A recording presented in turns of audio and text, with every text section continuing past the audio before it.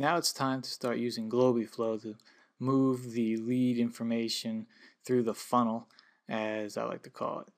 Now the first thing we have is a lead sitting in the lead app that we want to mark as pursue. Now we could in in Podio go into the pursue app and start manually entering in the information when we want to do that after changing the status in the lead app. But GlobiFlow allows you to do that automatically by just clicking on the category or the status of pursue and then it auto creates the pursue record. Now, so to do this, first you want to go into your GlobiFlow account, come in here and click on the workspace that you want to create the GlobiFlow in and you always want to refresh from Podio. This makes sure you have the most updated information. As you can see now I have my leads buyer or leads pursue and offers app that I just created in the previous videos show up in GlobiFlow. And now, so the first step is create the leads app, the leads flow to the pursue app.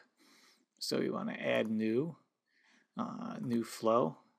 And we want to do a, a flow that's triggered by an item update. This item update is going to be the status field that we update to pursue value. So click that. And this first area, the trigger, trigger on an update in the leads field. Now we have to do a filter. We have to check to see which field has changed because we want to just only launch this flow on the change of the status field. And we only want to launch this flow if the status field changes to the value of pursue. So now anytime any other field changes or even the status field changes to something else besides pursue, this won't launch off and you won't get some crazy stuff happening. So now the actions. So the action we want to create is just a create item action. So click the create item. Select the app we want to create the item in, which would be the Pursue app. Keep everything as is. Add field. Select the field. Relationship. We want to add it to the current lead. Status. Set the value to working. Asking price. We don't have an asking price yet. Well, actually, in some instances, you may have the asking price, so you can set the value to that by selecting this, clicking on this icon over here on the right, and it'll give you the option to select a field from your lead. So we have this in the lead, the asking price. And let's see any other fields we want to populate. The rest of these, the rest of the fields can't be auto-populated because we don't know that information yet and we have to do further research on that property lead. So this is the, the general information we want to create in the new pursue lead. And lastly, I like to add a comment field. So here's the field we want to add.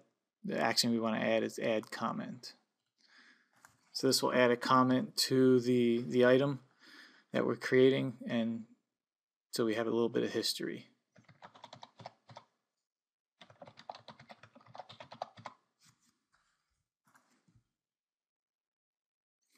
We can also do is add a task. By adding a task, it further gives you a, a queue and a to-do list to go into your pursue leads and gather the rest of the information that you need to create the offer.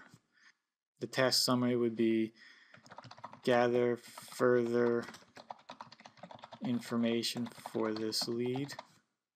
Select the due date, say the current date plus one, say we're going to do it tomorrow, and the full description. You can add more information there if you want. Close this. So this is basically what you're doing. So when you go into the lead app, you change the status of that lead to pursue, it'll auto create a pursue record, auto populating these three fields lead relation, status, and asking price. It'll create a comment that you added pursue record.